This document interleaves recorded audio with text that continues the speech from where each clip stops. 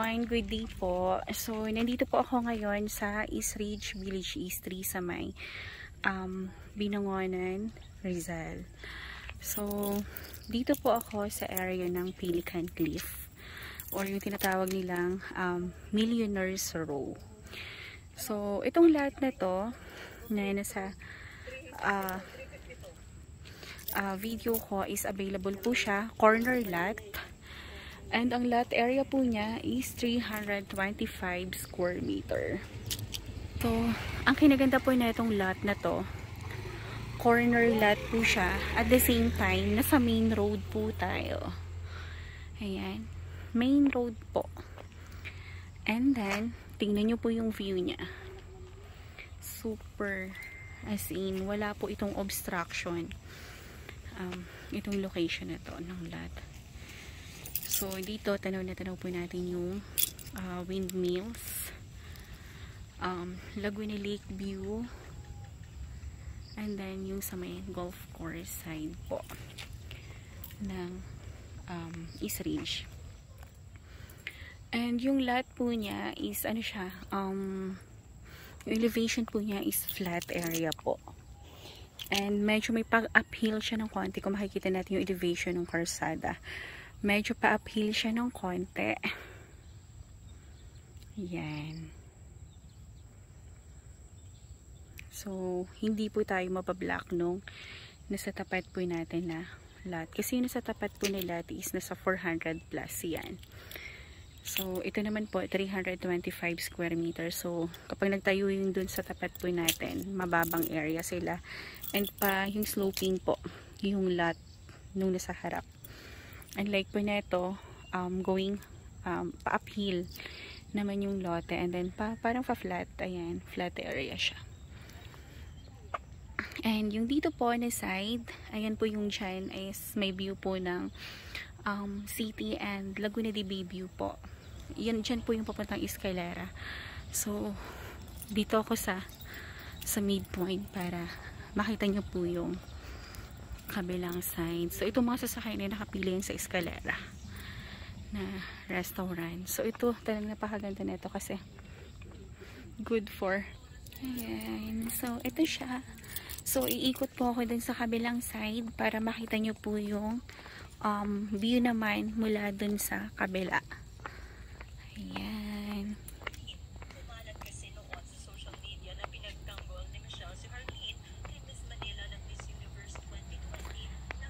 So, 325 square meter po ito. So, tamang-tama lang po ito sa dream, sa dream house po ninyo.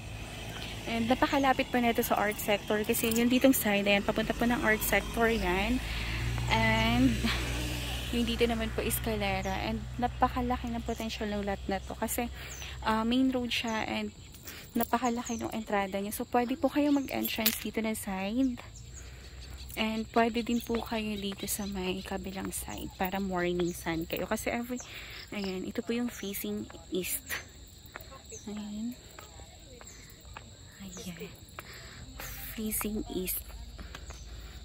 Ayan. So, pwede din po kayo dito mag-entrada kasi malaki naman po yung um, frontage nung lot. So, ayan. So, pwede po tayo dyan.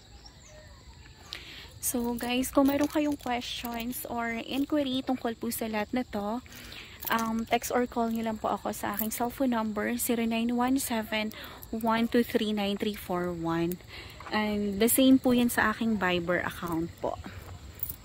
Ayan. So dito po, um, ayan yung lot. So, tingnan nyo po yung elevation ng lot. Medyo pa-uphill siya ng konti. Tapos yung sa midpoint po ng property, flat na siya. And ito po yung view mula dito. So ngayon 6pm na. So medyo padilim na talaga dito. So mamaya maya konti. Makikita nyo ang dami na po siyang ano um, ilaw na ano po nagbubukasan. So para siyang mga ano um, stars na kumukuti-kutitap din. So ano siya um, para din po kayo na sa city view.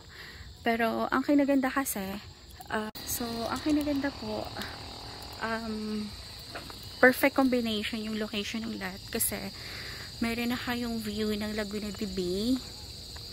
Ayan po. And meron na po kayong view ng mountains. And Pililla Windmills um, golf course. Ito pa ito sa inyo. Ayan, so golf course area. Medyo madilim na talaga kasi. Tapos ayan. View po ng um, Thunderbird Resort and Casino yung kulay white na yan. So napakaganda po yung ambience dito sa area na to kasi um, green green yung makikita mo pagising mo sa umaga. At the same time pag pagtakip silim naman um, paggabi na makikita mo naman yung mga um, liwanag po ng mga kabahayan yung lights so napakaganda parang nasa Tagaytay or Baguio ka sa view mo na itong um, area na to same time, napakalapit mo lang sa lahat kasi ang East Ridge po from here, um, papuntang airport, papuntang Manila, um, nasa 30 to 45 minutes lang po. And wala po tayong traffic kung dadaan tayo ng Baya C6. So, napakalapit niya lang sa lahat. And uh, dito po sa, sa East Ridge talaga ano siya, um, tourist destination na siya kasi nandito po yung um, Coffee Rush, Art Sector, um, Thunderbird Resort and Casino. And then, um, golf course, tapos, um, ano pa ba, escalera, and basta napakaraming restaurants and maraming pwedeng mapuntahan dito sa East Ridge. Kaya ang dami rin po talaga nag invest po dito. Kasi, um, alam mo yung value niya in 5 years, um, 5 years time, grabe, hindi po matatawaran. Kasi, um, bilis po tumaas ng value po dito sa, sa East Ridge dahil po sa kanyang talagang angking uh, view na napakaganda po talaga. So, ngayon, pag nakita nyo, at saka ito pa, isa pa tong lot na to, um, pag nakuha nyo pa yung lot na yan, napakalaking potential lalo. Kasi, corner lot pa, ang laki, ang dami mong magagawa sa lotting yan. Kasi, um, tamang-tama lang din yung laki niya, 325 square meter. Main road siya at the same time po corner. So talaga napakalaki ng potential niya. Kung ano man po yung naisin nyo pong gawin ay pwedeng pwede talaga dyan sa sa lot na yan. Ayan po yung mga nagpapatayo po sa area na yan mga kingfisher ayan yun. Nagpapatayo na yan client sa client ko po yan. And mostly po na nagpapatayo dyan is mga kliyente ko po. Mga ano so lahat po yan mga happy and satisfied clients ko po. So, talagang hindi hindi po kayo magsisisi kapag ayan, nabili nyo po itong lahat na ito. Kasi um, 2 years from now siguro ang magiging price niya doble na. Ayan. so kaya nga po napakaswerte po ng mga naunang nag-invest dito sa East Ridge. Kasi ngayon po talaga yung lote nila Diyos ko nabibenta nila ng sobra pa 5 times fold ang price sa pagbili po nila So, guys, kung meron kayong questions or inquiry, um, text or call nyo lang po ako or message po ako sa aking Facebook account. Ang Facebook ko po is Cory Villarimo Greenio po. So, anytime, sumasagot naman po ako sa mga inquiries po ninyo.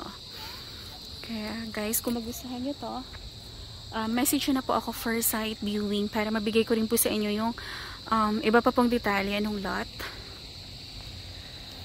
Ayan. So, so guys, kung yung, kung yung corner lot na yan is available siya, meron pa po ako isang corner lot din na ino-offer, which is ito po. Ayan, ito naman, 405 square meter naman tong corner lot na to. Ayan.